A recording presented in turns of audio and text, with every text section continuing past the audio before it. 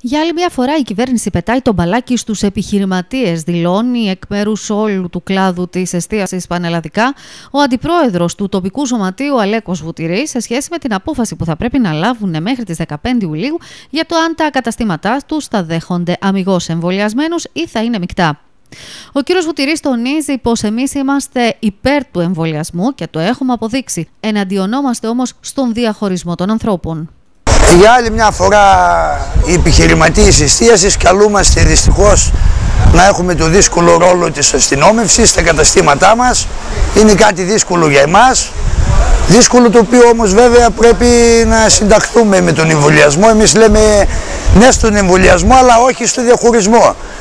Είναι πάρα πολύ δύσκολο για έναν επιχειρηματία να, πει, να κλείσει την πόρτα σε έναν πελάτη του οποίος επέλεξε να μην προβεί για τους δικούς του λόγους ή κάποια συγκεκριμένη ιατρική πράξη. Δυστυχώς ε, για άλλη μια φορά καλούμαστε να κάνουμε την αστυνόμευση και να επιλέξουμε αν τα μαγαζιά μας είναι μεικτά ή αμυγή και να έχουμε αυτόν τον τρόπο. Την ίδια στιγμή που η πολιτεία, η κυβέρνηση δεν υπάρχει κάτι το οποίο μπορεί να μας δώσει ως ε, κίνητρο ε, ως επιδότηση γιατί μην ξεχνάμε ότι ε, λειτουργούν μόνο εξωτερικοί μας χώροι και από το μήνα Ιούλιο καλούμαστε να πληρώσουμε ολόκληρα τα ενίκια. Ε, επιδότηση των παγίων δαπανών ε, δεν ήταν ένα επιτυχές μέτρο όπως και η πτώση τζίρου ε, του 30% όπως έχουμε ξαναπεί αφήνει την πλειοψηφία των επιχειρηματιών εκτός προγράμματος και χωρίς να υπάρχει ούτε μία επιδότηση καλούμαστε αυτή τη στιγμή να κάνουμε τα καταστήματα τους εσωτερικούς μας χώρους αμυγός τη στιγμή που έχει εμβολιαστεί το 30% του πληθυσμού.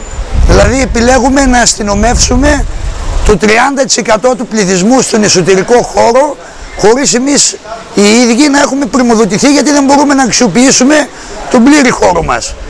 Παρόλα αυτά ε, είμαστε υπέρ των εμβολιασμών και ο κλάδος μας ε, από την πρώτη στιγμή τάχθηκε με τα μέτρα, τηρούμε τα μέτρα υγιεινής στο έπακρο, ζητάμε να συνεχιστούν, να αυστηροποιηθούν αν γίνεται τα μέτρα, να υπάρχουν αν χρειαστεί ακόμα και μεγαλύτερες αποστάσεις, να μπορέσουν να λειτουργήσουν οι εσωτερικοί χώροι με ανοιχτές τζαμαρίες, κάτι που γινόταν και πέρυσι, αλλά σε καμία περίπτωση δεν θέλουμε να διαχωρίσουμε τους πελάτες, ούτε μπορούμε να κάνουμε αστυνόμευση.